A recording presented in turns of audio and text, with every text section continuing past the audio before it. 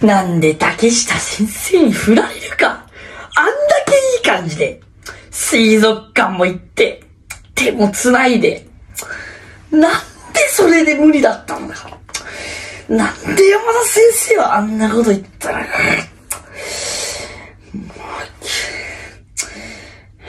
決めた。決めたもう。俺は決めた。おい、何やお前入ってくんな、お前。もうちょっと外ではね、ちょっと今から大事な電話するから、どっか行っとけよ、お前。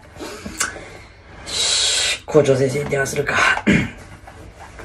あ、もしもし、えっと、校長先生、お世話になっております。えー、お疲れ様です。えっと、まあ、ちょっと今、あ私パスポート忘れて、えっと、まあ、修学旅行行かずこちらにいるんですけれども、あのー、ちょっと一つ、大事な、あことというか、ちょっと、うん、まあ、報告をさせて、させていただきたいんですけれども、えー、まあ、今、えっと、6月ですけれども、今月で、えー、教員辞めます。